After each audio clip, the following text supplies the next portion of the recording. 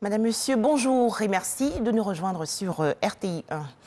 En Côte d'Ivoire, Conseil des ministres euh, aujourd'hui au palais présidentiel dans la commune du Plateau.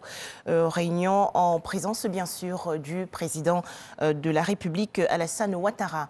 plus de détails sur cette rencontre dans nos prochaines éditions.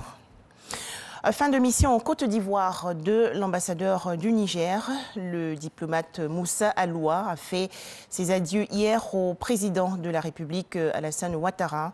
Euh, le chef de l'État ivoirien a accordé une audience à l'ambassadeur nigérien au palais présidentiel dans la commune du Plateau.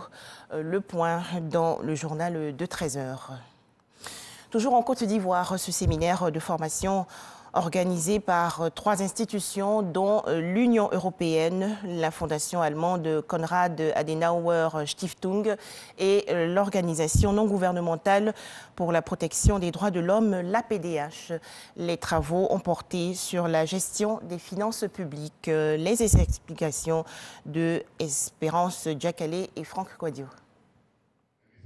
30 participants venus des organisations de la société civile et les agents des services publics prennent part à un séminaire de formation sur le contrôle de la gestion des finances publiques. Ce projet consiste à accompagner l'État dans sa politique d'action en faveur de la bonne gouvernance. Le projet Finances publiques, notre affaire à tous, c'est de pouvoir amener euh, les populations à s'intéresser aux questions financières, aux questions budgétaires. Parce que généralement, non seulement ne s'y intéressent pas, mais n'ont pas vraiment d'informations euh, là-dessus. Très souvent, on se base sur des, rumeurs disant qu'il y a de tels détournements et autres.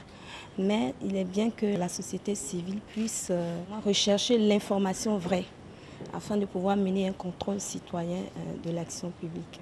Contribuer au renforcement des mécanismes de transparence, de redevabilité et de participation citoyenne dans la gestion des finances publiques des acteurs et partenaires de l'État, c'est l'une des missions de ce projet.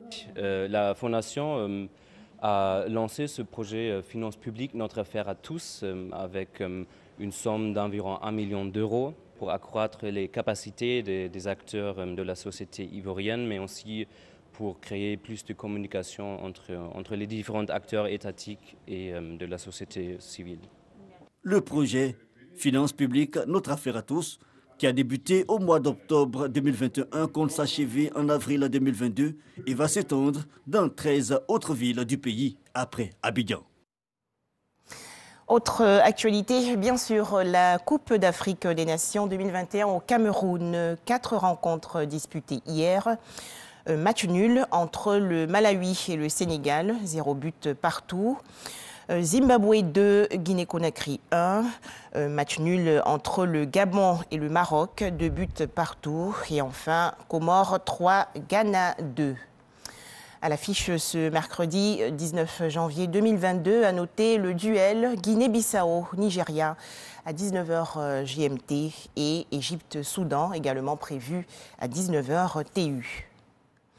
Enfin, autre actualité, le président Emmanuel Macron va prononcer euh, aujourd'hui un discours dans le cadre de la présidence française de l'Union européenne, une prise de parole qui pourrait peser sur la campagne pour l'élection présidentielle. Voilà, merci de nous avoir suivis. À 13h, le journal.